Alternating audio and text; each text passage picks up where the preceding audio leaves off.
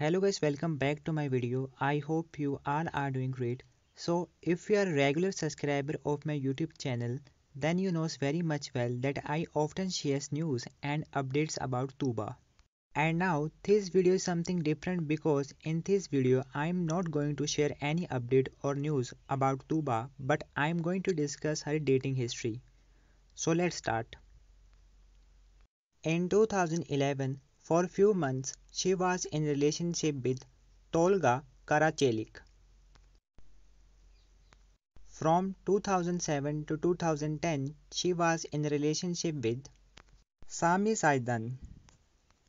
And from 2005 to 2007, she was in the relationship with Bülent İnal. Okay, let's discuss about her marriage.